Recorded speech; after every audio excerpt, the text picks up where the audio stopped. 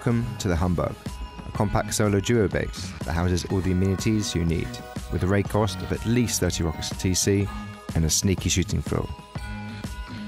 Now onto the tour. Outside you can see we have a vending machine for selling stuff. And running up the ramp we have the entrance into the base, which is a simple airlock with a window on the left. Inside the base itself you can see we've got plenty of room for all the deployables, including a couple of beds, a hidden locker back here, and an oil refinery underneath. Behind this window you can access the vending machine, the furnace and a drop box. On the shelf you'll find some quick loot storage, at the back we even have room for a research table and a repair bench. Now drop down into the bunker where we have the main loot and TC. Here you can see the TC is placed behind a vending machine, making a wall raid extremely expensive. It can even fit 3 days of upkeep. Down here I made sure we got plenty of loot storage and room for up to 7 furnaces, a mixing table and a workbench. To open the bunker, just remove the twig frame that holds up the floor. To seal it, just build the frame and replace the floor. Jump up to the second floor again by using the workbench. And on the way up to the shooting floor, you'll find a nice little ghetto garden. The shooting floor itself is possibly the best feature of the base. The roof and low wall peaks are inspired by a base from one of Tacularr's videos. The small gap gives you excellent visibility of the surrounding area, while making it very difficult for players to see you. I also want to give a shout out to my mate Keeno, who helped me with the intro, so check out his channel in the description where he reviews all the latest skins. And if you've got any skins that you don't like anymore, you could trade them in with today's sponsor, Howl. Howl has just released slots, live games, and most importantly, crypto withdrawals. You can now deposit Rust skins, gamble on any slot you wish, and withdraw your winnings into crypto. We've also added chat rain to claim free money every 30 minutes without having to bet your own, and a free Rust case to win up to $2,000 daily. For a limited time, you can receive a 48% bonus when depositing with gift cards or crypto, and receive money back with every bet you place. Use my code CROW for a free 50 cents. Check it out in the description. 18s and above only.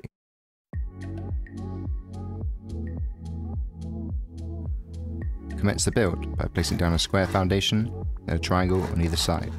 Surround it with walls and then put a door on this triangle. After that, seal in the roof.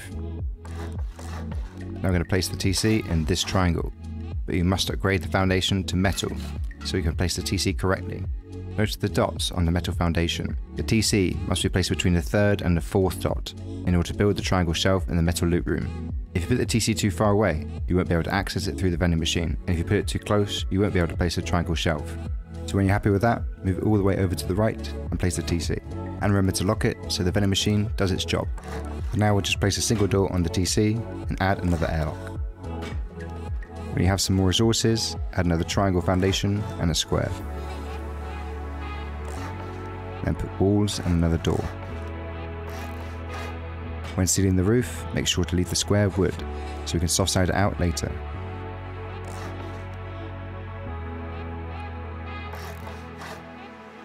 At this point the starter should look like this. You can add a triangle shelf into the main loot room if you like, but make sure to leave a twig so we can remove it later to place a vending machine.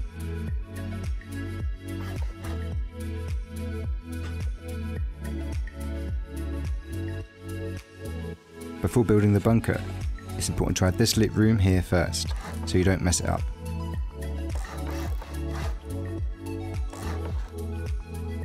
Remember to build the shelf and place the wall frame now.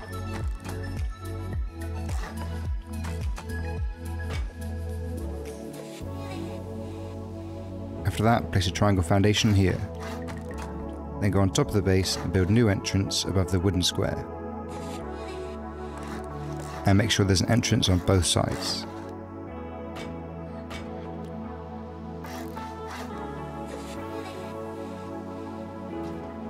Next go back inside the base and soft side out the wooden ceiling. This can be done with just a couple of machetes. Then make sure to replace it with a square frame.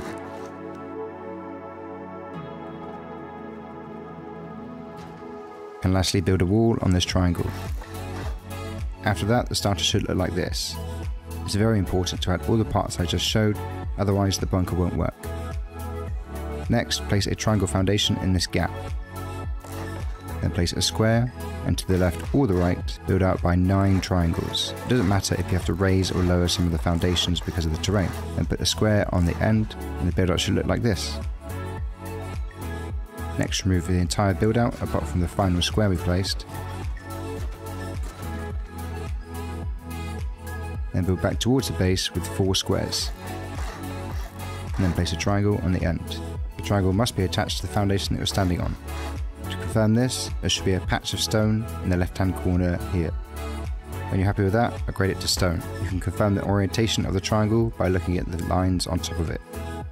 Next remove all the twig squares apart from the one you're standing on, and repeat this process again. So build up another 9 triangles, and then put a square on the end. Then remove the build out apart from the last square.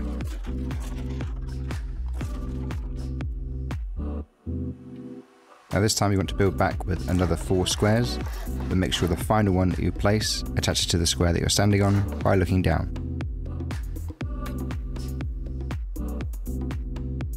Now standing on the twig square foundation, place a full wall, and then place a triangle on top of it. This must be done from this angle. Then replace the square foundation with a triangle one, build a roof to get on top of the base, from inside the base, place another triangle from this angle. This makes sure it attaches to the one in front of you. To confirm this, check that the stability is 11%. If it's not, you'll have to repeat these steps again. Now the bunker seal should be placeable in the square frame. But before you do that, you need to add stability to the triangle that holds it up by placing a wall frame from this angle. This will increase the stability of the triangle to 31%. You can see if you place the wall frame from the wrong angle, then it does not increase the stability of the triangle. If you want to learn more about this bunker, visit the link in the description.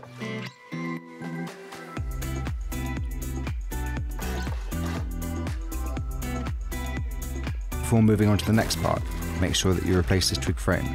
If you don't, you won't be able to build the frame on the next floor up.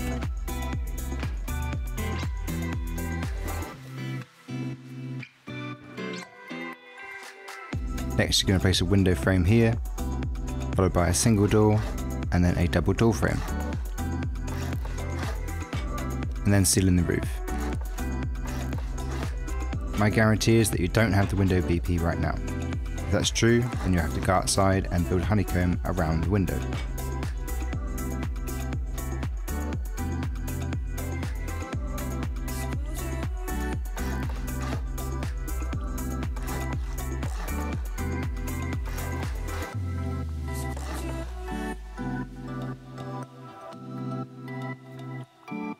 Obviously we will be putting a vending machine here, but if you don't have the HQM to make one right now, just fill it with a single door. Right now the starter should look like this, and next we're going to put some walls around this back door.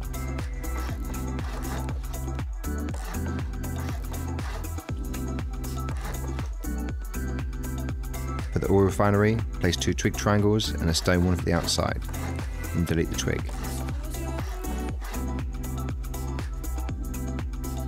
And build up by two walls to the second floor.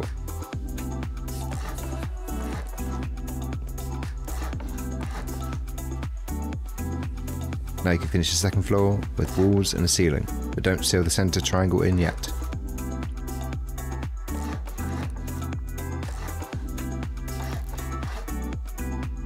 Make sure to upgrade this half wall to metal and the ceiling above the TC to armoured, as it can't be done later. Then add another half wall in front and seal it in. Next place two wall frames and double doors in these locations. And finish it off with a wood half wall, which we will remove later.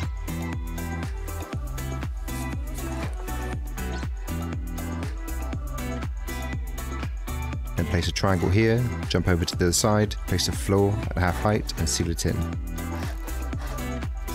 Put a single door here for your locker.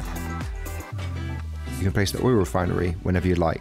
When you do, you must do it from this angle, making sure the spout faces away from you, so you don't get stuck when you jump down here to use it. Fortunately, you will have to F1 kill to get out, so make sure you don't have anything in your inventory. When you found a triangle ladder hatch, seal it in.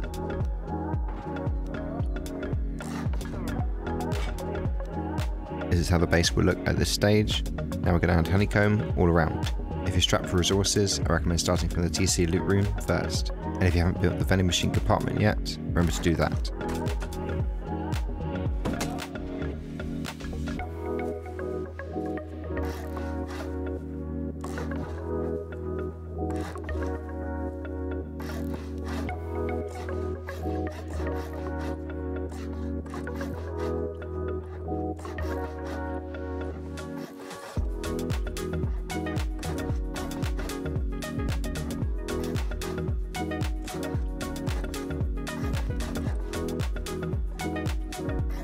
And after you've built with the honeycomb, the base should look like this.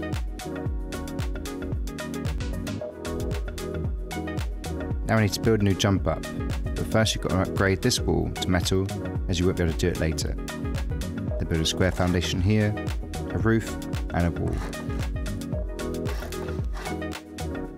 Next we're going to go back inside the base to finish the roof. Remove this half wall with a couple of machetes. And jump upstairs place low walls all around.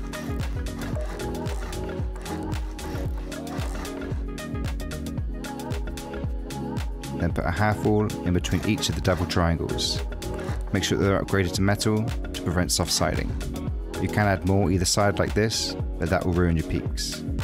Then attach frames all around. A triangle either side of the half walls, and then squares to finish it off. Next, attach regular roofs to the square frames and then triangle roofs to the triangle frames.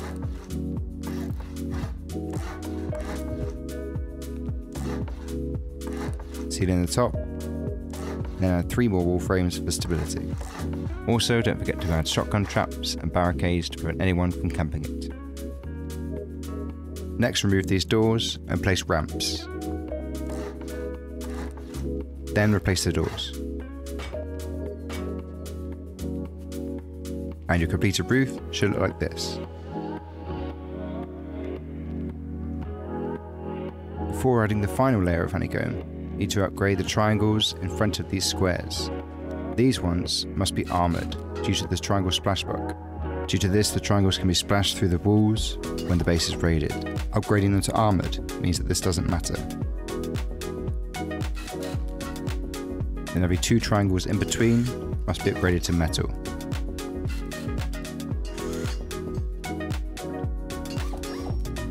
Here's another aerial view just to make sure that you've done it right. Now we can add honeycomb all around the second floor. First add an airlock to the front door and then put walls all around the rest of the base.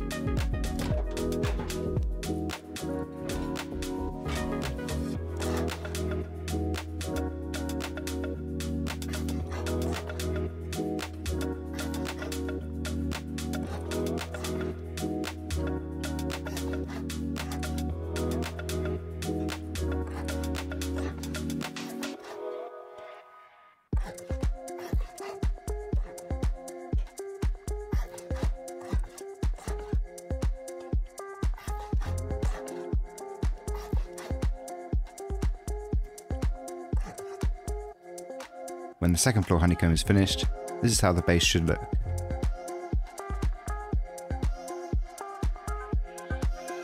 Before adding the roofs, we need to upgrade this honeycomb to metal, as it can't be done later.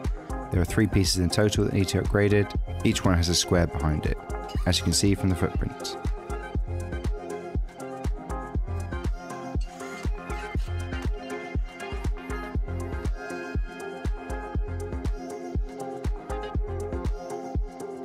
Now we're going to add the roof honeycomb. The roof should face inwards towards the metal.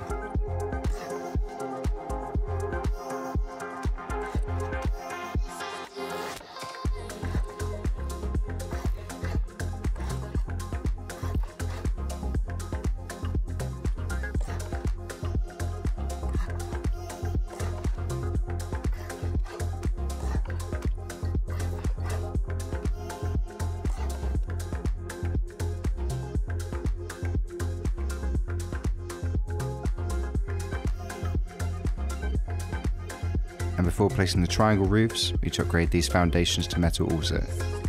The triangle roofs can be left wood as they serve no purpose, they're just cosmetic.